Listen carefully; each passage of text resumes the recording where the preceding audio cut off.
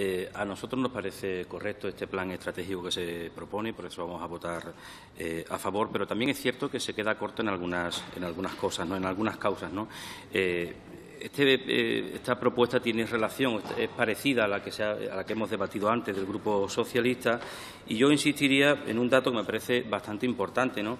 Coinciden la reducción de la plantilla de la Guardia Civil en 1.300 efectivos con el aumento o con el estancamiento de la siniestralidad en nuestras carreteras. Yo creo que eso es un dato que tenemos que poner, que tenemos que tener muy en cuenta. Y después el tema de, en fin, otras, otras causas de esta, de esta siniestralidad también lo sabemos. Es verdad que ha habido un recorte presupuestario, incluso desvío, y ahora lo explicaré, ¿no? recorte de la plantilla de la Guardia Civil, el parque móvil de, en España se ha hecho muy eh, antiguo, y cuando digo desvío, alguien piensa que teniendo estos flamantes eh, helicópteros vamos a acabar con la siniestralidad en España, ¿no? Y yo creo que se ha invertido en helicópteros que al final no dejan de ser eh, máquinas recaudatorias para eh, reducir la plantilla de la, de, la, Guardia Civil. Por tanto, nosotros vamos a, votar esta iniciativa a favor, pero, insisto, hemos hecho de falta, en falta pues eso, el hecho de que se ha reducido considerablemente la plantilla de la, de Guardia Civil y la importancia de la plantilla de, los agentes de en nuestras carreteras. Muchas gracias.